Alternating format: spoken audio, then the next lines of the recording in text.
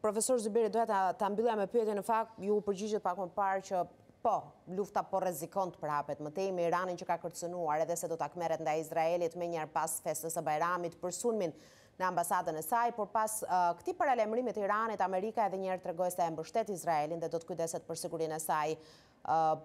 thjesht kaq, zoti Zyberi, si ka mundësi që Amerika, shteti më i madh në botë, aleati i Izraelit, Nuk ka më shumë pushtet ndaj Netanyahu-t sa për ta bindur që kjo luftë nuk mund të zgjasë më shumë se kaq dhe se Hamas është e pamundur të çrrënjoset në këtë pikë sa kohë që rrënjët nuk i dihen, nuk i njihen? Nuk është çështja sa pushtet ka SHBA-ja, por sa pjesë të pushtetit Presidenti amerikan dhe institucionet amerikane dhe administrata e tij, sa pjesë të pushtetit dëshirojnë që ta përdorin.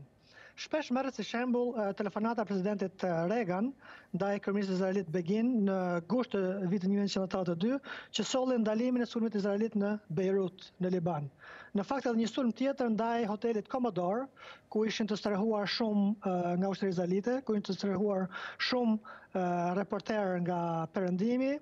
të cilën ushtria izraelite kërcënoi që ta ta ta, ta eliminonte, domethënë, ta ta ta targetonte.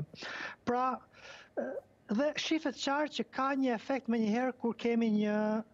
mbledhje. Pas bisedës të fundit mes Biden dhe Netanyahut, magjikisht u deklarua që mund të hapeshin pika të tjera për të lejuar më shumë ndihmë humanitare.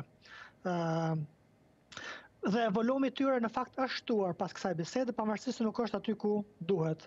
SHBA-t janë aleati kryesor i Izraelit me 4 bilion dollarë ndihmë ushtarake, përveç mbështetjes politike,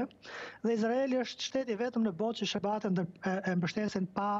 rezerva dhe pa kushte. Pra është çështja që SHBA-t, por jo vetëm SHBA-t në fakt, edhe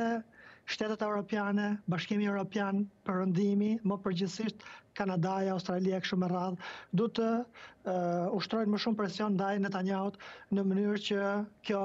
masakër në Gaza të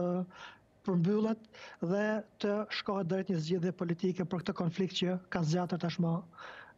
më shumë se 7 dekada.